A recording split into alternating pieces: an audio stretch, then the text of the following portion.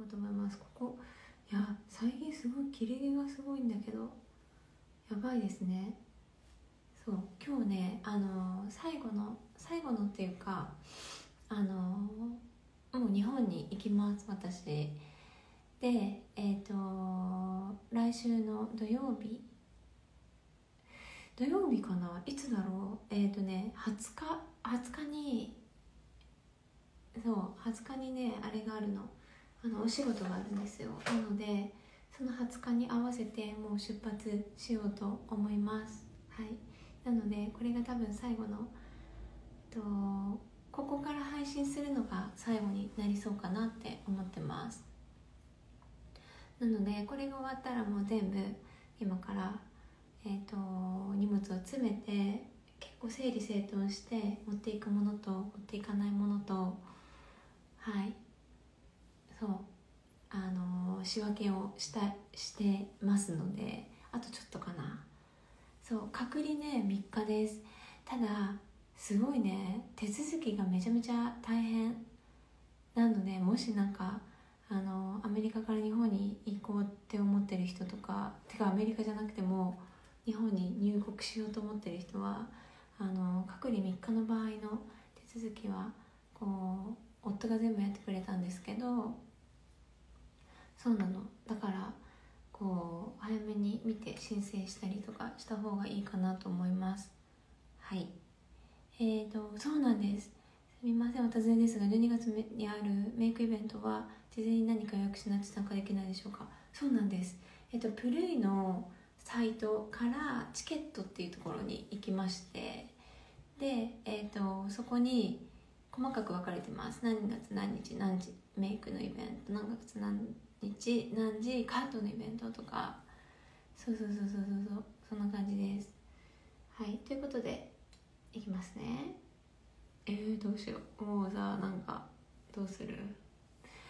やばいですね。なんかこの服あの今まだ多分プルイの服なんですけど後ろにプルイで黒で刺繍刺繍じゃない。プリントが入ってるものだけは確か在庫があったと思います。そう。ハクとミフめちゃめちゃ楽しみにしてますよ。えっとフローソフィスタンスのフローレスです。めっちゃ楽しみ。あミフはちょっとよく分かってなさそうなんだけどハクはすごい楽しみにしてる。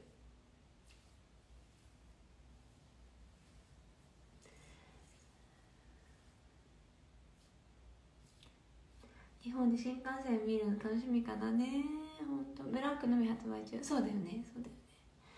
それでえっ、ー、と私急遽東京でのイベントを2728にやることになったんですけどそこのアシスタントがねまだ見つかってなくて。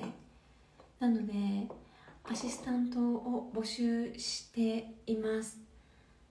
そうなの。でアシスタントちょっとちょっとじゃあここタグタグっていうかあれしとく。アシスタント募集してます。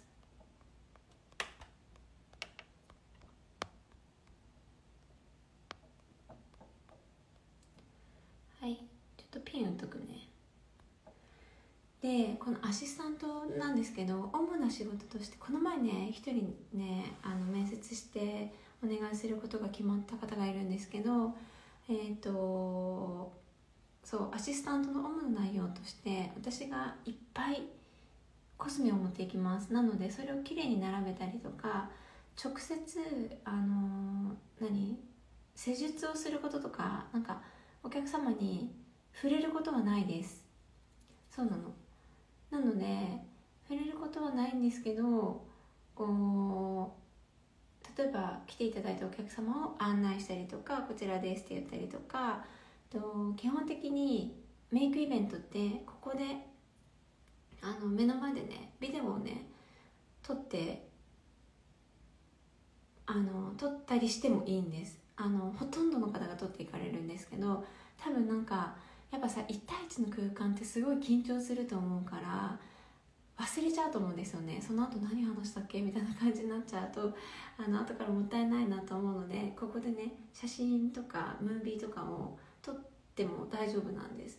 なのであのそれを設置したりとかあとは使ったものを全部私が一旦あのその場所から違う場所に移動させてもらう係だったりとかそしたら後からお客様が全部その写真を撮ったりとか、えっと、記録したりとかができるのでなので自分が何を使ってこのメイクになったのかが分かるようになってます。で、えっと、カットの方のアシスタントは基本的に入ったりだとかあとはそうですね綺麗にしたりお客様ご案内したりお客様に説明したりっていう感じです。うん。そうなの。だからえっ、ー、とうんそうそうそうそうそういう感じです。あプレイの方にもメールさせていただいてます。何がだろう？メイクあメイクアップのチケットを購入したのですが銀行振込は可能ですか？どうかなひかりちゃん。ちょっとね私全然詳しくなくて。ちょっとひかりちゃん上近ちゃんが分かったらお願いしたい。ルームセンツだね。がホームページが削除削除されてましたが今後入会はないですか？ないと思う。ないと思う。そうなの。売り切れちゃったよね。そう全部ねあのそういう小物系例えばネイルもそうなんですけど基本的に1回も売り切れたらその商品は発売しません。そうそうなんです。なのでこうね私もあのあれ大好きだった。そう自分用に何個かあのまだあるんですけどそれなくなったらどうしようかなと思ってる。ソフィスタンスのグローです。はい。そうそういうお仕事です。であのー、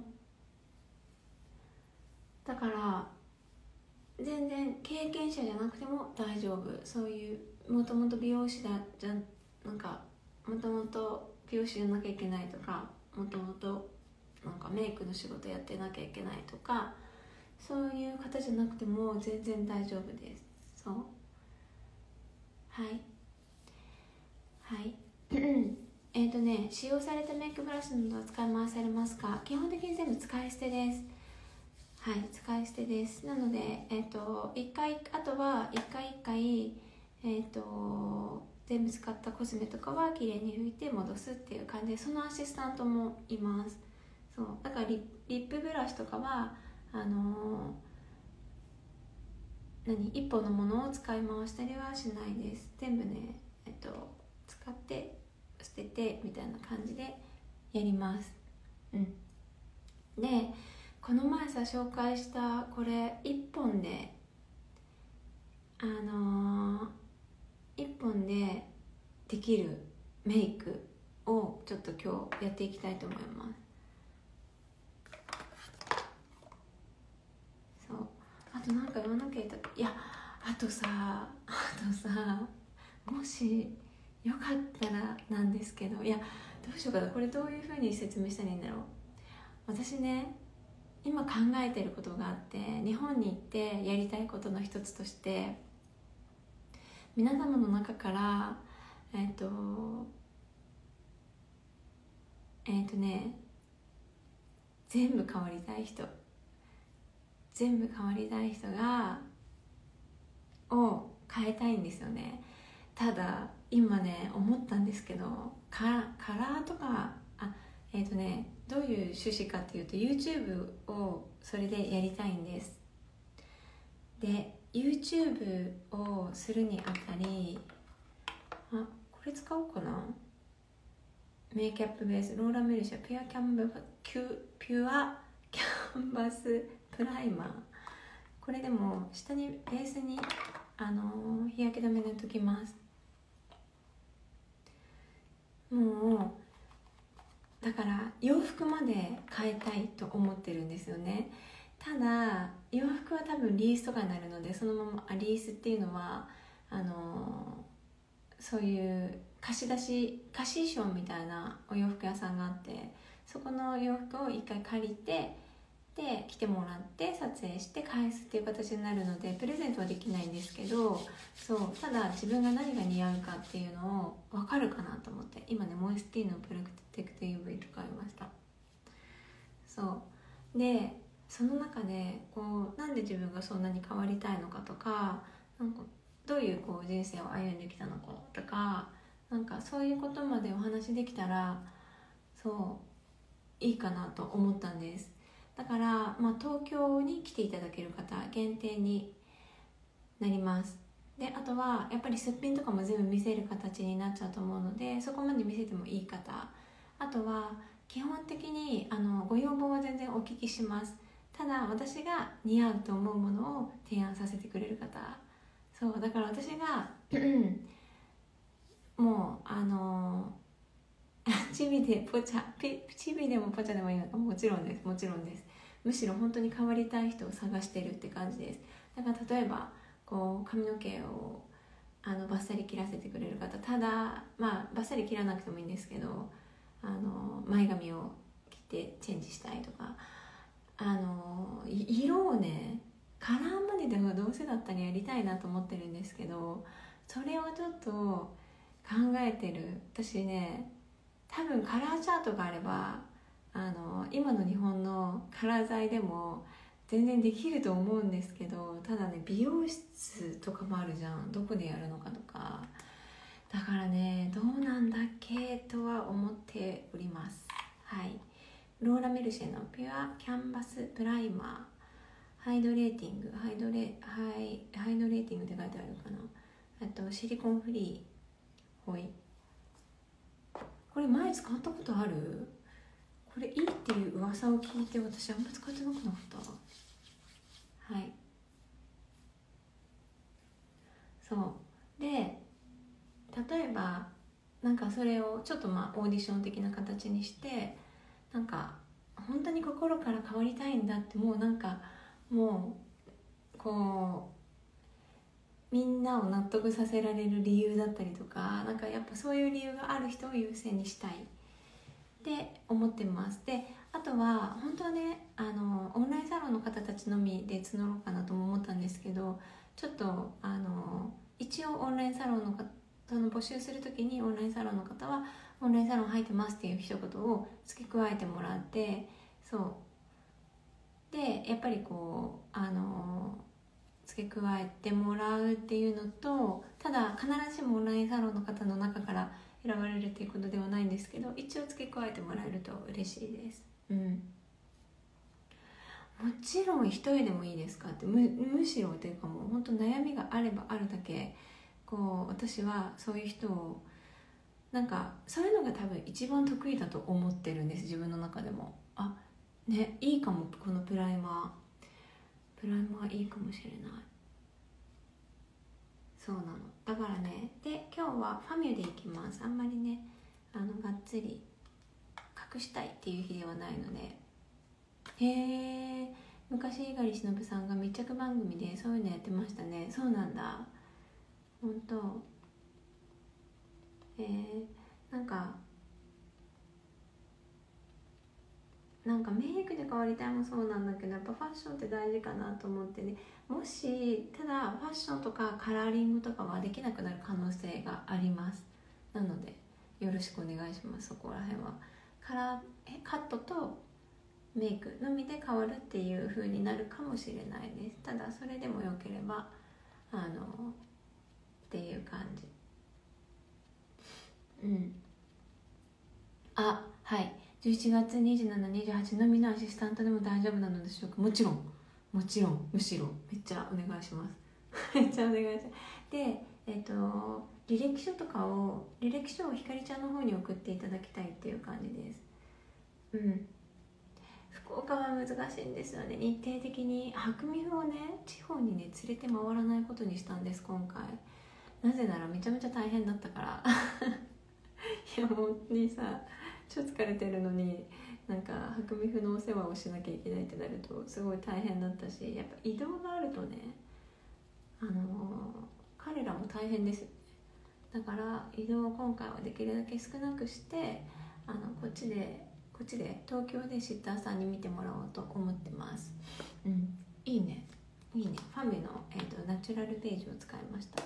本当はライブベージだよね私多分。はい。でえっ、ー、とコンシーラー。コンシーラーいきます。そう。そう。そう。そう。そう。そう。そう。わかる。子連れだと最後廃人になりますよね。いやマジわかる。もうねあの土日だけでもめっちゃ大変。なんかあの今日土曜日なんですけどよしって感じ。なんか戦闘態勢って感じです今。うん。ねいいよねプライメプライマー。プライメーだって。そう。そうなの。もうなんかさえー、どこ隠そうとしたここだっけ？そう。そうなの。もう最後の最後にさいやマジ私あのあとさ飛行機とか乗るじゃん。もうそれだけでも結構さなんかもう人様に気を使ってやっぱ気を使うよね。いや私ね史上最悪の飛行機に乗った話してもいいですか？もうさ白がねまだえーと、1歳半の時でしたあれは。えっ、とね夜中便に乗ったんですよ。夜中便だと白が寝るんじゃないかっていう気持ちだったの。で寝た状態で連れてきて、まあ、6時間とか7時間とかよくてあの飛行機の中に寝てくれてで、まあ、ちょっと起きてあと数時間過ごせばいいかなっていう気持ちの中の計画だったのね。そう。でマジさ。でそれでまず空港に向かった向かう直前。モレナに来てもらったの。なんかすごい。大変だったから夜ね。モレナに来てもらって3です。3使ってます。でそしたら私がねあの鳥え鳥じゃない卵がゆみたいなやつ雑炊みたいなやつを作ってたんですよ。なんかもう最後の残りの食材をぶち込んだやつを作ってたんですよ。でそれであのモレナがハクにね「だってこれ食べさせていい?」って言っててで私「いいよ」って普通に言ったんですよ。そしたらあの、で卵もほんとちょっとしか入ってなかったし卵ボールとかも食べれてたから大丈夫だと思っちゃって食べたらアレルギーが出たの。行く直前に。もうもう顔中真っ赤になっちゃってこれアレルギーだと思って。でもそれ以上ひどくならなかったからとりあえず様子見て私も知らな知らなくてそこで初めて卵アレルギーって気づいたのね。でえっ、ー、と急いでたからさなんかもういいやあげてあげてみたいな気持ちでやってさでさやっちゃったのよ私もそれで。で結局なんか行く寸前には引いたんです。でよかったと思って空港に行ってで乗る直前なんかもう眠くてしょうがないの吐くは。もうもうこんな感じなんだけど眠れなくてすっごいギャーギャー泣き始めてもうおたけびですよね。うわってなっちゃってやばいどうするって言ってあの旦那さんにねこれ行く？行かない？ってなって。で旦那さんになんか「愛と吐く飛行機降りてもいいよ」って言われたわもう乗ったのよ。乗って閉まる直前に「どうする？帰るんだったら今だよ」みたいな感じで言われて私めっちゃ悩んだのえ？どうしよう？帰ろうかな？とかって思ったの家にね今だったら確かに遅くないぞまだドア閉まってないしと思ったの。でそれでなんかすごい考えたんだけど今日ナーズ使うすごい久々に。なんかこうちょっと細かいところまでやっていきたいんだけどちょっとね眉毛も細かく今日はやっていこうかなと思います。まずね最初にちょっとごめんなさい話中断してパウダーからいきます。ちょっと私いつも同じ塗り方してたのでこういう塗り方もあるよっていうものをやっていきたいと思います。で動画。でも超悩んでる間にドアが閉まりました。はい。もう行き行くの決定しまして。でボビー・ブラウンですね。で使っていきます。まずここからちょっと穴を埋める感じでこっちの方が簡単な人もいるかもしれない。もしかして。そう。で行くの決定したのよ。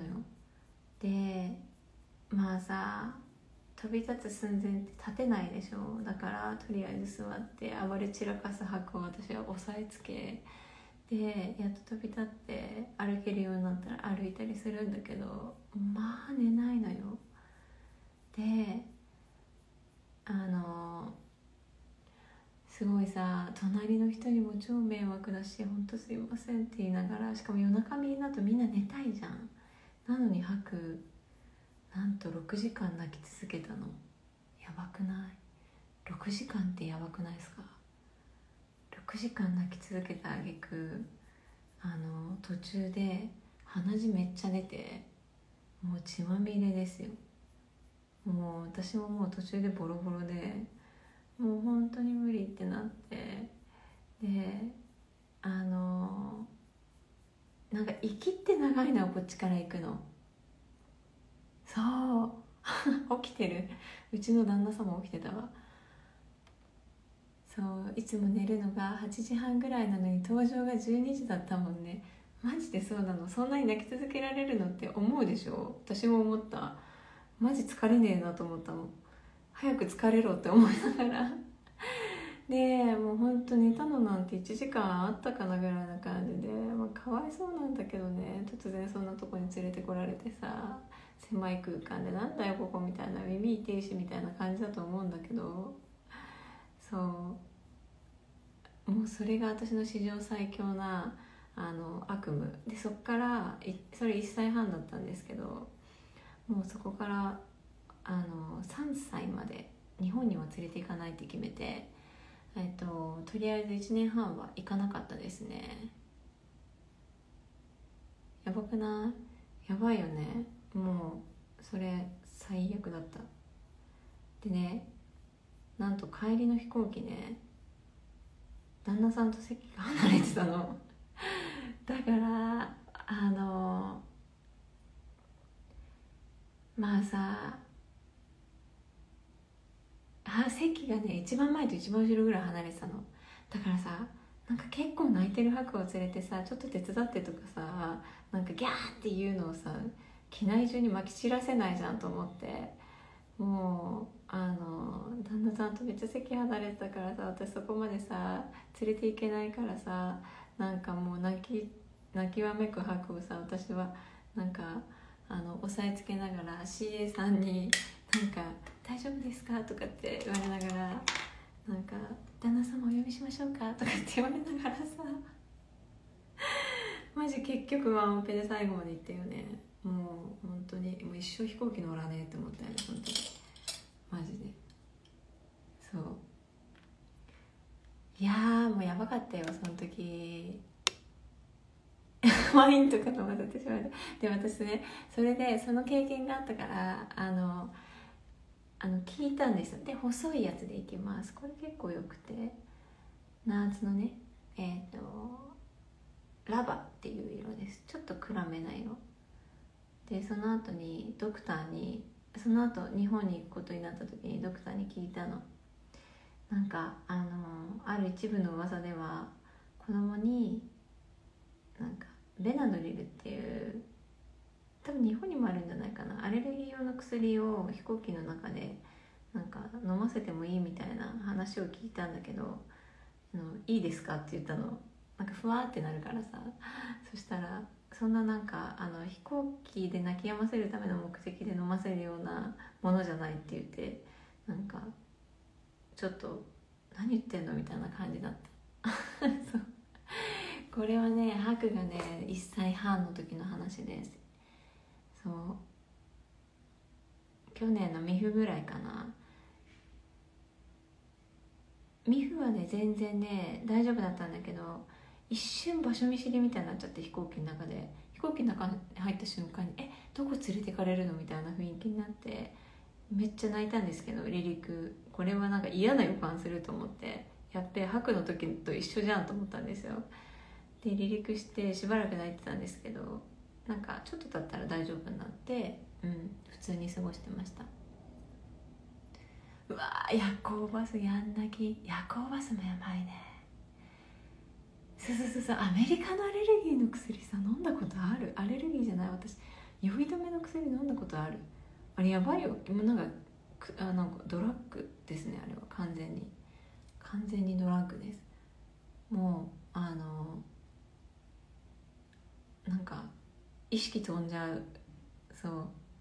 感じ。そうそれが私とあのハークの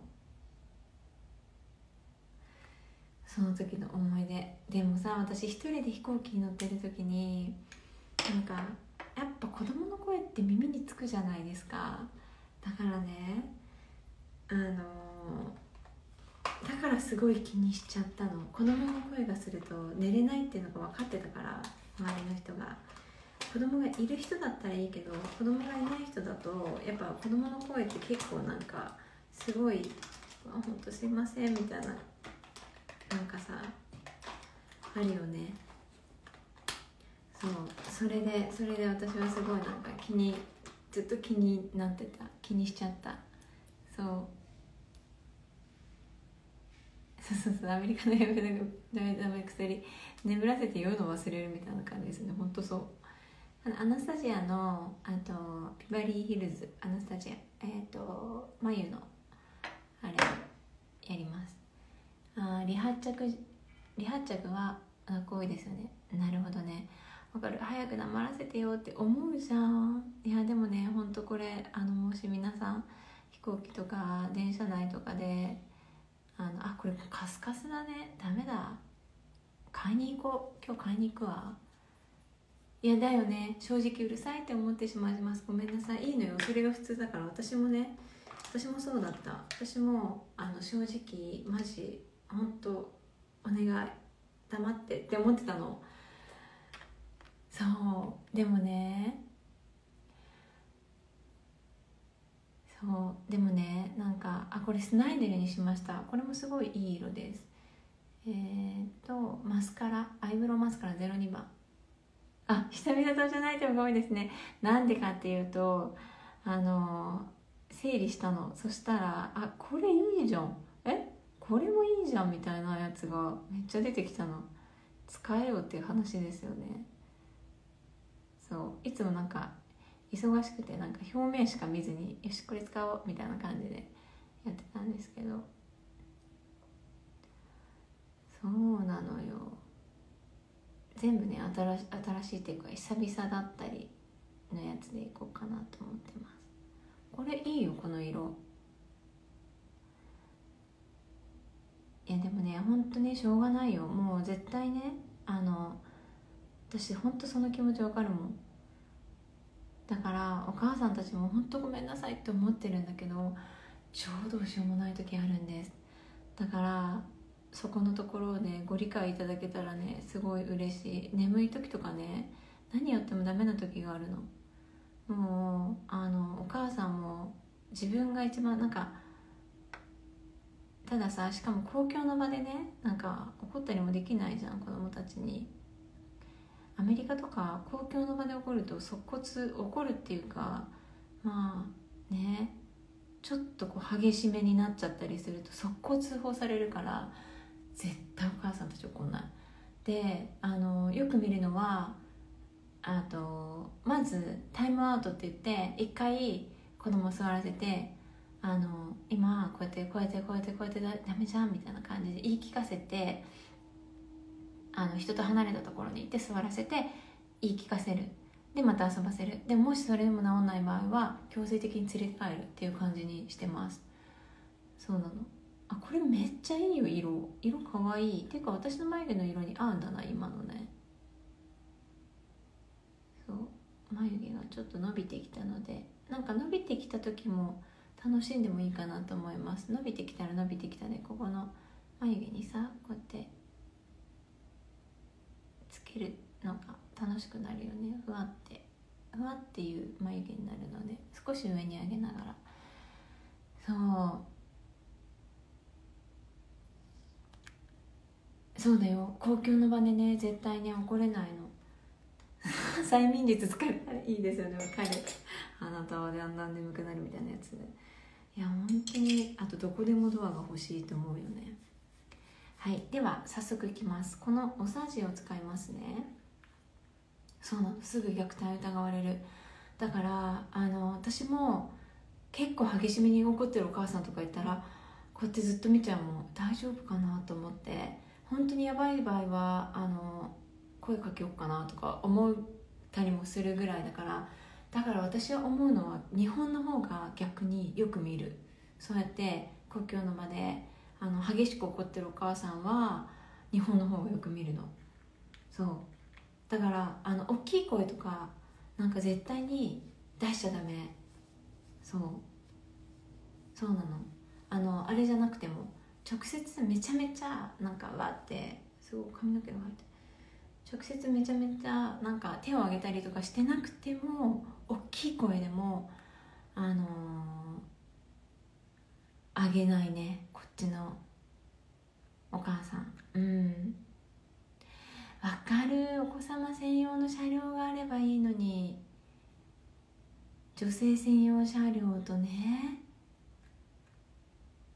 そう。そうなの。あのアメリカはねお留守番もそうさせられないんですよね。そうそうそうそう日本は激しめに怒ってる人多いけどたまにやりすぎで怖い時ありますからね。でもねあのヒートアップしちゃうとなんか分かるよ。すっごい分かる。そうやってそうなっちゃうの分かる。でもねもうこっちだとマジ必死になんか抑えてる感じです。うん。日本では車内でも電車にすごい動いてる人割といますよね。こちらの方がドキドキします。うん。そうそうそうそう。でえっ、ー、とねこれです。おさじニュアンスフェイスカラー。姿。姿っていうのこれ良かったです。あちょっと待って。まず先にあげようかままつげ。まつげあげます。難しいところだよね。あのだからあのちょっと離れたところに行って声のトーンを落ち着けて話す。例えばなんか私がやってるのは「吐く」「吐く」って言ってなんかいつもの「吐く」とかの声じゃないこの声はあ結構やばいんだぞみたいなのをいや聞かないけどね全然。全然聞かないけどね。そう。でもあの声のトーンをあの上げるんじゃなくて下げて話す。そうすると周りの人もびっくりしないじゃん。ね。周りのあの公共の場にいる人たちもさ「あややべえかあいつ」みたいな感じに見えないからそう「吐く」って「今さっきこうやって言ったよね」みたいな。そうそうそうそう。うん。うん。あわかる。お母さんいつもいっぱいいっぱいで苦しいだろうなって胸が痛むんですが。もう聞く耳持てないお子さんにとなりつけるのを見るともっと苦しいですね。わかるわかるわかる。うんうんうん。うん。うんそうなの。お子様より大人の大声の喋り方の方が気になります新幹線で宴会してる。グループマジで？どどうやって？あくるってやって。席くるってやれんだっけ？新幹線って。えどうだっけ？やれだっけ？マジで？やばいね。でもさ今さ怖いよね。なんか変なさ切りつけ魔みたいな人いるでしょ？いやほんと気をつけないとね。なんかあれとか持ってた催涙スプレーとか持っといた方がいいんじゃない？あのしあのプリーのスタッフのこう催涙スプレーあのお店にあるよね確かね。うん。はい。えっ、とねおさじの姿をつけてみます。え催涙スプレーうちにもあるんですけど。それをねなんかねあのうちの夫がねこうプリーの東京東京さ女の子ばかりだからさそう危ないじゃん。なんかあった時にだから催涙スプレーを買ってあげたらしいの。そしたら美智香ちゃんが「なんかこれ試してみてもいいですか?」って言ったんだって。ね試してみてもいいですかってさ。いややれるもんならやってみろって感じなんだけど受けない。その真面目さ受けない。なんかどんなもんかどんなもんか分かんないからとりあえず私で試してみるみたいなマジ勇気あるって感じなんですけどすごくない？わかるよ。でも効果知りたいよね。いや美智香ちゃんってマジさ超ウケると思ったんだけど私それ聞いて。自分にかけるのかな？どこにかけるんだろうね？試してみて。僕試したのみちかちゃんどうなんだろうね？わかんない。限界来て 車に乗った途端怒り爆発したことあります。わかるよ。限界来てそう車とか乗ったらね。まあでもなんかあのそう怒り爆発することが本当にある。すごい可愛くないですかこれ。いい色いいよね。体張るやん。ほんとほんと効果知りたい。わかる。全員に止められました。でチークにも行きますねそのまま。ちょうどいいんですよ。なんかクリーム感もちょっとパウダリーな感じでちょうどいいの。かけられないたまたま。た そうクリームクリーム。うん。いい色だよね。いい色なんです。そう。自分だと思うよ。やばいやばい保育園の殺すつもりでの事件は本当に怖いです。ああ園の体制が終日正常になって救われました。ああうん。ウケるよね。あ寄れないですか？あよ寄れないですか？あよよ寄れない寄れない寄れないのな。全部まず一回使えるところに全部使ってみます。うん。いやアメリカもね危ないんだけど多分アメリカの方がやばいとこいっぱいあるんだけど日本もそういうなんか安全安全と思って過ごしてるとそうじゃないところいっぱいあるのあるよねって思うんですよね。なんかアメリカは基本的に小学校とか絶対みんな迎えに行かなきゃいけないしでもねうちの近所の学校は結構近所の子が集まってるからもうね高学年になると自分たちで帰ってる子たちもいる、うん、見るとね何歳まで13歳とかまでダメって聞いたんだけど。そうだからもちろんハンクを一人で家に置いたりとか、えーと、車の中で買い物中に待ってもらったりとかすることはできないんです。それを見つかっちゃうと通報される。うん。小学校迎えです。もうあれですよ。ドライバーですよ。お母さんたちは。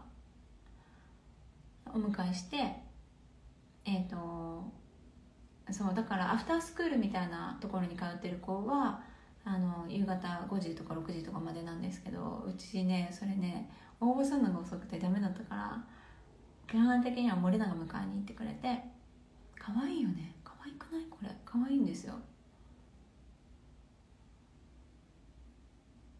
そうだから私ね結構ねあの日本に行った時に小学生が一人でちっちゃい子がさ一人で電車乗ってたりするじゃん。えマジでなんか大丈夫？この子って思っちゃう。大丈夫かな？ちゃんといける？って思っちゃうぐらい本当にドキドキしちゃう。そううんそうそうそう。そうまさにケースガラスじゃなこれガラスじゃないよ。ガラスじゃないよこれ。え何？何？もしかして私1年前にこれもらっあのそうの商品なんです。だからおさちの品名は姿です。リップはそうだね。何回か塗った方がいいかもしれない。可愛いよね。うん。そうそうそうそう。銃を持ったりできるかですか。何がだろう？何がだろう？初めての使い絶対できない。絶対できない。ちょっとね恐ろしいですそれはさすがに私も。でちょっとね目の下にあ目の下にちょっとキラッと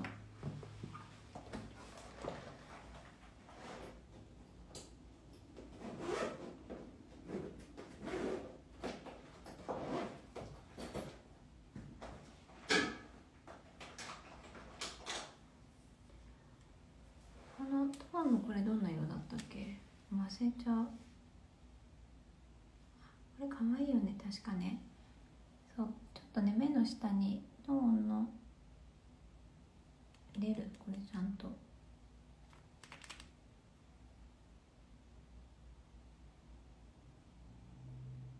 トーンのえっ、ー、とねフラワーダストアイシャドウ05番です。これ持ってる人も多いと思う。うん。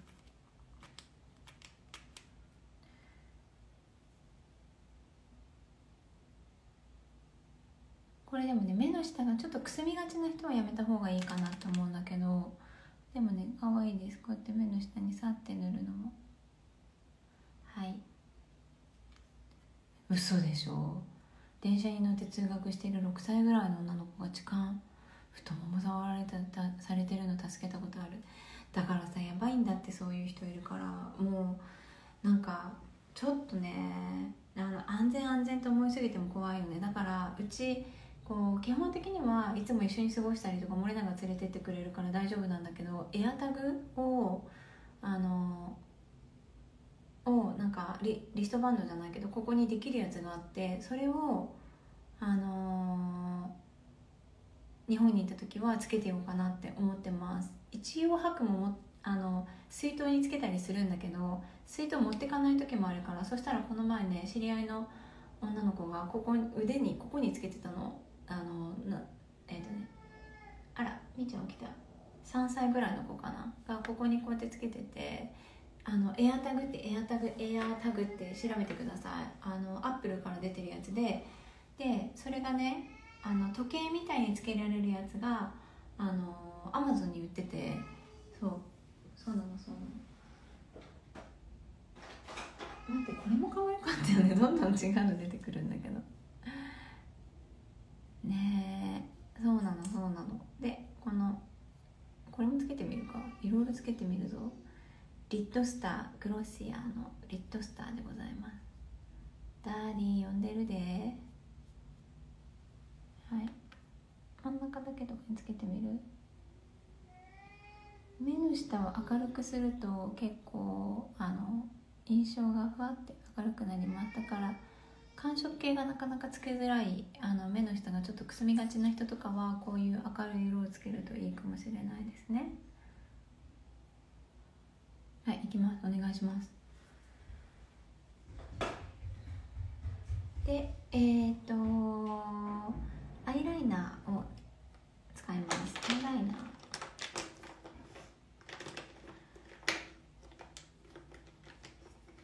アイライナーどうするこのヒンスの緑にしてみようかな。えっ、とねヒンスの L004 インフィニットです。はい。はい。はい。えー、っとね目尻だけ。目尻だけに。今日のみーちゃんのぐだぐぎで今す。んごいよみーちゃんも毎日。吐くがなんか朝起きて「今日もやばいねみふ」っていう 今日もやばいなみふの頭が。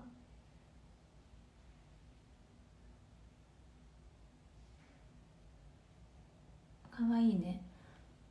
目尻だけちょっと緑はい目頭にキラーあさせても全然いいと思うよ全然。たださなんかこうギャルみたいに見えたくないなっていうのもあるのでそうそこら辺入れ方だけちょっと注意する感じで。うん。そう。でマスカラマスカラもねいろいろあるよ。いろいろあるよ。もうなんか目つぶって取る取って取った色にするのでもいいぐらいの勢いなんですけど結構このおさじの色は割と何でも合う。ただ今日は今日品質使ったから品質つながりでいこうかな。目元がちょっと暖色系なの暖色系使ったのであのアイシャドウがねなのでちょっと寒色系のヒンスの、えーと、G003 アンディフェンディット使います。はい。クリスマスっぽいからなるほどね。はい。あ今愛さん毎日乾燥する環境だからあまり髪を洗わないと言ってましたが今住んでるところどうですか？あの同じです。エリアはほとんど変わってないので2日に1回とかですよ髪洗ってるの。うん。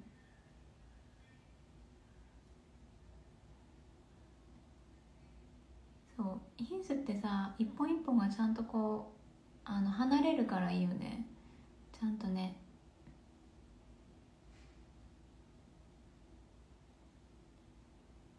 あそうだから。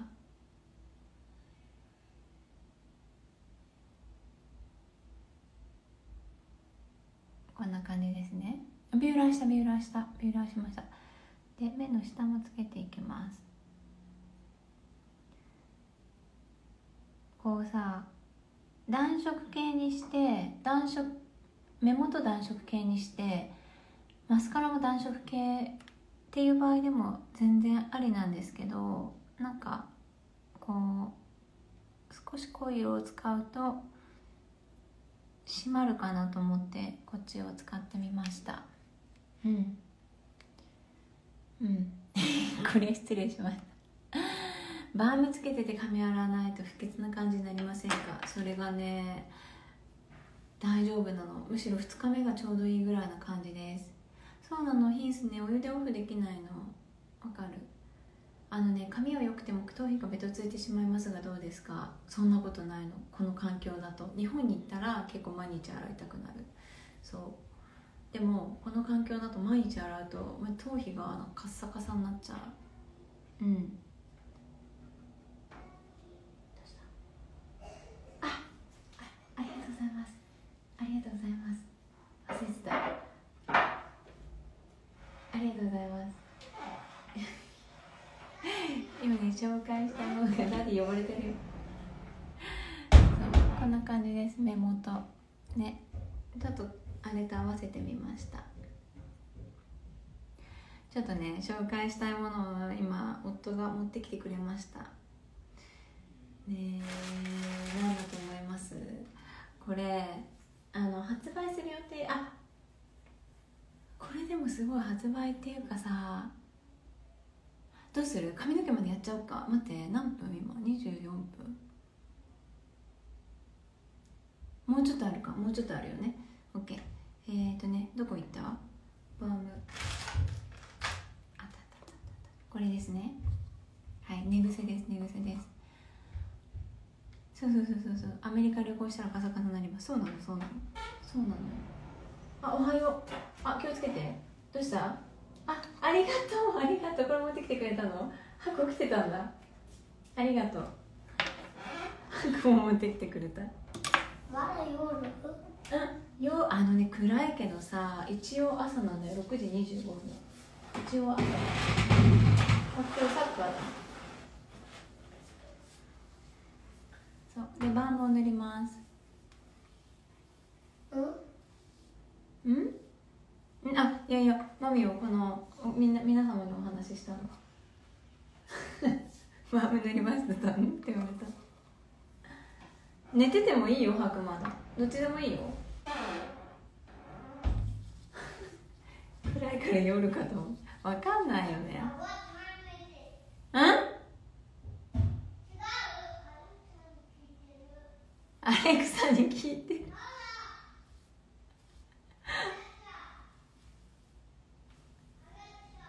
アレクサ。ハクめっちゃアレクサと喋るからね。しかもハクの声さちゃんと聞き取ってくれるのアレクサ。やっぱネイティブだから。この野郎と思うんだけどさ。結構なんか家に帰ってきてさアレクサにさ「ルームライツオン」とかって言うとあのパッて全部の明かりがつくようにしてんだけどなんか旦那さんが言っても「ルームライツオン」って言っても聞かないのにハクが「アレクサ」とかって「ルームライツオン」とかって言うとあのあれしてるよ。あのちゃんとパッてつく「OK」とかってつくの。アレクサに聞いてる。ウケるよねわかる。なんか英語喋ってんなとかって思ったんだけど。マミーは英語じゃないと思ってるから。ハクさん。そうそうそうそう。何時か聞いてた？よく聞こえてたの。私聞こえなかったんだけど。ウケる「What time is it now?」って聞いてた。全然聞こえなかったんだけど。みんなよく聞こえるね。すっごい聞こえんだねここ。で、えー、と今日はねちょっとアレンジもしていきたいんだけどえめっちゃやることあるね。どうする？やばいね急ぎます。はい。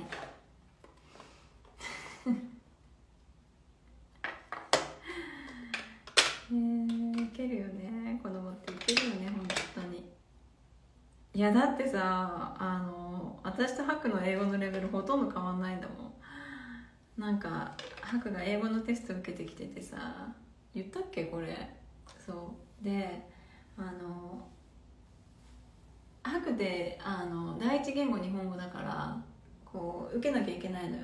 でそれでさ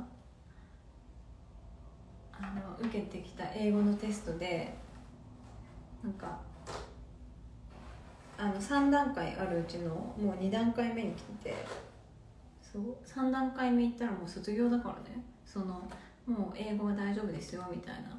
あのあなたはこのかこの何？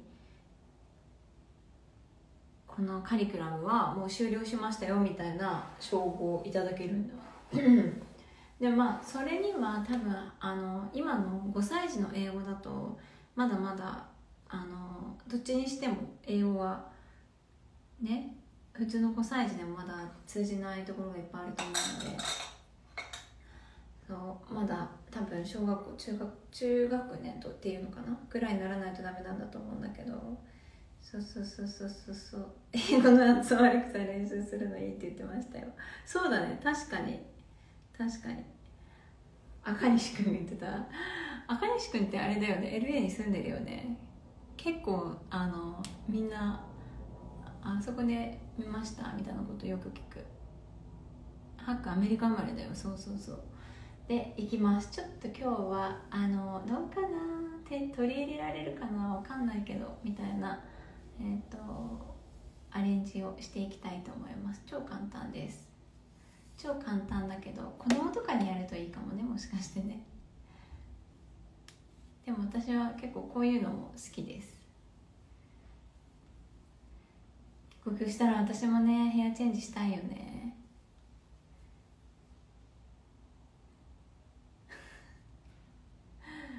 と受けるよね。今日ハクがサッカーいつも土曜日にサッカーやってるんですけどサッカー最後の日なんです。まあ日本に帰るっていうのもあるんだけどあのここでなんかこのチームのサッカーがあの何ヶ月って決まっててで3ヶ月目なのでそうなの。これで一旦このチームはライオンキングっていう名前のチームにいるんだけどねハクかわいいよ。そう。ライオンキングっていうチームは一旦終わりになるんですよ。だから最後だから。ねえ。本当はなんかチームディナーみたいなのがあってこう最後にみんなでご飯食べる会があるんだけどちょうど出発の日と重なっちゃって行けなくなっちゃった。うん。はいこんな感じで。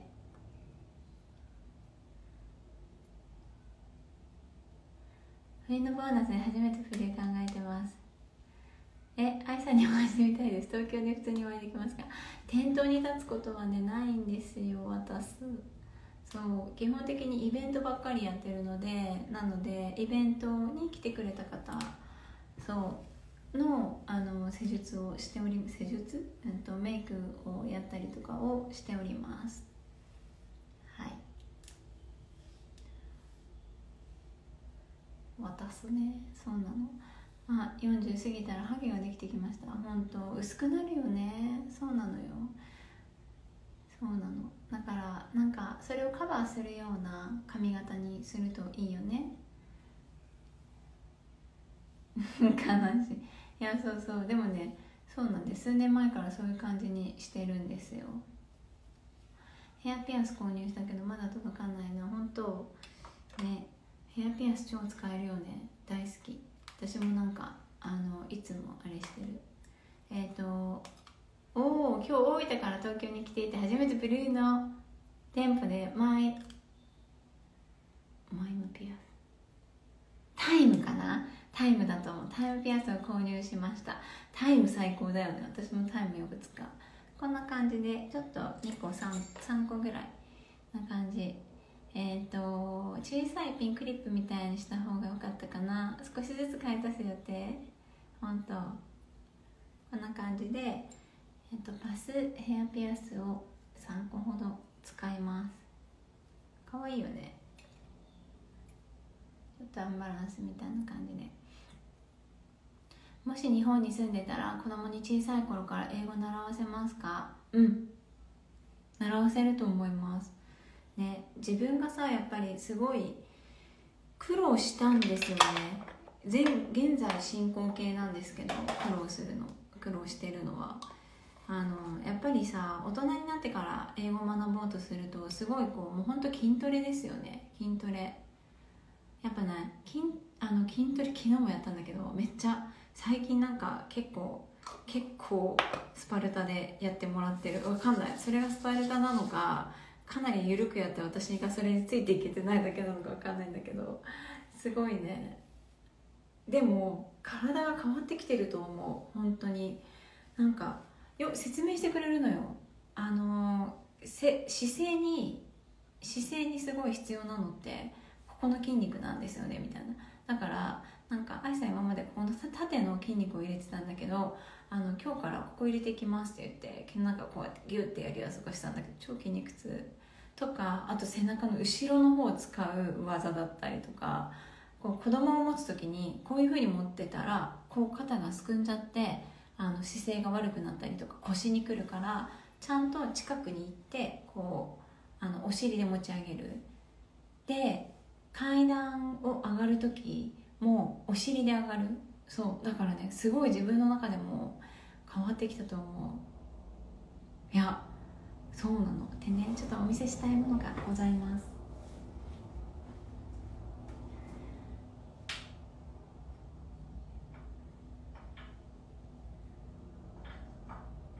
ちょっと待ってね。これちょっと重くて1個ずつしか運べないわ。これ落としたらどうしよう。やばいね。怖いね。じゃん何何って感じだよね。ちょっと待ってちょっと待って。はい。はい。まず1個目。何だと思いますか？玉手箱。